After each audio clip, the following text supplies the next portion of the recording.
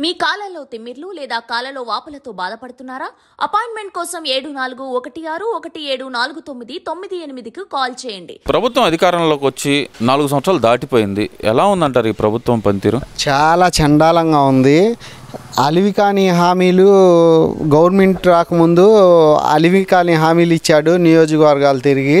ఇవాళ రోజున వచ్చిన తర్వాత అన్నీ చంద్రబాబు నాయుడు గారు ప్రవేశపెట్టి ప్రజా సంక్షేమ కార్యక్రమాలు మొత్తం నిర్వీర్యం చేసేసాడు వాటిని ఎత్తేసాడు ఇతను చేసేది అసలు ఏమీ లేదు చెప్పుకునేది ఎక్కువ చేసింది తక్కువ. అంటే ఇచ్చిన హామీల్లో తొంభై తొమ్మిది శాతం నేను పూర్తి చేశానని చెప్పి మరి ప్రతి సభలో చెప్తున్నాడు కదన్నా జగన్మోహన్ రెడ్డి? ఎంత చెప్పినా వాళ్ళ సొంత డబ్బా వాళ్ళు కొట్టుకుంటున్నారన్న దాంట్లో చేసింది అయితే ఏమీ లేదు. అమ్మఒడి అన్నాడు ఇంట్లో ముగ్గురికి ఇస్తానన్న ఇంట్లో ఎంతమంది పిల్లలు ఉంటే అంతమందికి ఇస్తానని ఫస్ట్ చెప్పాడు.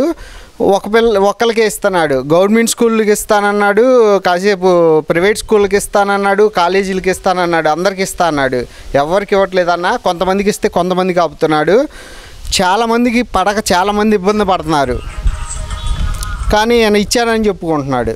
అంటే ఇక్కడ ఇంకొక విషయం కూడా చెప్పుకోవాలన్నా మనం. వస్తే అధికారంలోకి వస్తే మద్యపాన నిషేధం చేస్తాను ఎమ్మటే అన్నారు కదా మరి. నాలుగు సంవత్సరాల్లో మద్యపాన నిషేధం చేస్తా అన్నాడు. అది ఏమైనా అమలు జరిగిన అవకాశం ఉందంటారా? అసలు ఏమీ జరగలేదు. మద్యపాన నిషేధం దేవుడెరుగు రోగాలు వచ్చి పెరాలసిస్ గుండెపోట్లు వచ్చి చనిపోతున్నారన్న చాలామంది హాస్పిటల్ పాలవుతున్నారు. ఈ నాసి రకం మద్యం వల్ల రోగాలతో పాటు చనిపోతున్నారు. యువతని నాశనం చేసి వదిలిపెడుతున్నారు. వ్యవస్థల్ని మొత్తం బ్రెస్ట్ పట్టించారు. అసలు వేపికి పట్టిన చీడలాగా తయారైంది ఈ వైసీపీ ప్రభుత్వం. కానీ ఇక్కడ ఇంకో విషయం అన్న మేము అసలు పేదల కోసమే పుట్టాం మేము పేదల కోసమే బతుకుతున్నాం పేదల కోసమే అందరిని పేదలను పోషిస్తుందే మేము అని చెప్పి మరి జగన్మోహన్ రెడ్డి చెప్తున్నాడు కదన్న మరి?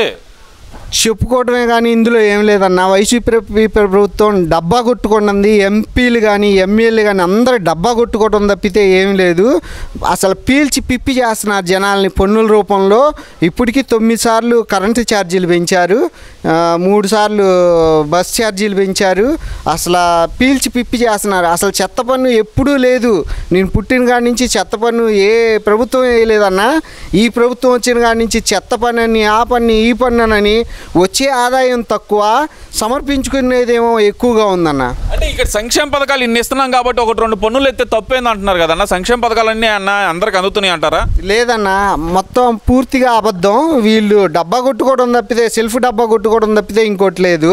ఈ వేసిన ఈ ప్రజలకి ఏదైతే ఇస్తున్నారని చెప్పుకున్నారో వాళ్ళే వీళ్ళకి తగిన బుద్ధి చెప్పి రేపు రాబోయే ఎలక్షన్లో గట్టిగా గుణపాఠం చెప్తారన్న వీళ్ళకి. ముఖ్యంగా చూస్తే కనుక కొంతమంది మంత్రులు ఉదాహరణకి కొడాల నాని కానీ మాజీ మంత్రి తర్వాత పేరు నాని జోగి రమేష్ రోజా ఇలా కొంతమంది వీళ్ళు మాట్లాడే భాష ద్వారంపూడి చంద్రశేఖర్ రెడ్డి అసలు వీరు మాట్లాడే భాషను ఎలా చూడొచ్చండి? గతంలో ఎవరైనా సరే ఇలాంటి భాష వాడారా? వీళ్ళ మాటలు చూస్తుంటే జస్ట్ ఈ వీళ్ళు ప్రజాప్రతినిధులుగా ఉండి జనాలకి ఏం చేయకోకుండా ఏపీకి ఏమి చేయకోకుండా ఉట్టి తిట్టడం ద్వారానో లేకపోతే కేసులు పెట్టడం ద్వారానో ఇప్పుడు ఏదన్నా సమస్యని అధికారుల దృష్టికి తీసుకెళ్ళినప్పుడు కానీ లేకపోతే వీళ్ళని నిలదీసినప్పుడు కానీ వాళ్ళని వేధించుకు తినడానికే సరిపోతుందనా? కేవలం వీళ్ళు పబ్లిసిటీ కోసమే ఇలాంటి వ్యాఖ్యలు చేస్తున్నారు తప్పితే మేము అధికార ప్రతినిధులం జనం వేస్తే గెలిచామనని వీళ్ళు చేసింది ఏమీ లేదు. ముఖ్యంగా చూస్తే కనుక మాది పేదల ప్రభుత్వం. పెత్తందారుల పక్కన చంద్రబాబు నాయుడు గారు పవన్ కళ్యాణ్ ఉన్నారు. పేదలకి పెత్తందారులకి యుద్ధం జరుగుతుంది. అంటే మేమే గెలుస్తామని చెప్పి చెబుతున్నారు కదన్న మరి? వీళ్ళు అరాచకాలు చేసి అక్రమాలు చేసి దొంగ ఓట్లు వేసుకొని రిగ్గింగ్లు చేసుకొని జనాలని భ్రైభ్రాంతుల్ని చేసి ఈ రకంగా గెలవటం తప్పితే వీళ్ళ వల్ల కాని పరిస్థితి అన్న రేపు రాబోయే ఇది రాబోయే రోజుల్లో వీళ్ళకి ఏపీ ప్రజలు మొత్తం గట్టిగా బుద్ధి చెప్తారు. వీళ్ళు అధికారాన్ని అడ్డం పెట్టుకొని కులాలని మతాలను అడ్డం పెట్టుకొని చలాయిస్తున్నారు తప్పితే వీళ్ళు ఎందుకు పనికిరారన్న? నూట డెబ్బై ఐదుకు నూట డెబ్బై ఐదు గెలుస్తాం. నా వెంట్రుక పేకలేరు ఇది ఒక ముఖ్యమంత్రి వాడే భాష. అసలు ఈ భాషను ఎలా చూడొచ్చు అంటారు? ఆయన అధికారంలో ఉన్నాడు కాబట్టి వెయ్యి చెప్తాడన్న. ఈ అధికారం చివరి రోజు ఆయన పరిస్థితి ఏంటో తెలుస్తుంది వీళ్ళ నాయకుల పరిస్థితి ఏంటో తెలుస్తుందన్న. మరి రాబోయే ముప్పై సంవత్సరాలు నేనే ముఖ్యమంత్రిగా ఉంటానంటున్నారు కదా ఉండే అవకాశం ఉందంటారా? రాబోయే ముప్పై సంవత్సరాలు వచ్చిన మూడు నెలలకే ఆయన విశ్వరూపం జనాలకి ఇచ్చి ఇదేం ప్రభుత్వం అనే విధంగా పాలన చేస్తున్నాడని మూడు నెలలకే అర్థమైపోయింది. ఇంకా ముప్పై సంవత్సరాలు అంటే జనాలు తట్టుకోలేరన్న.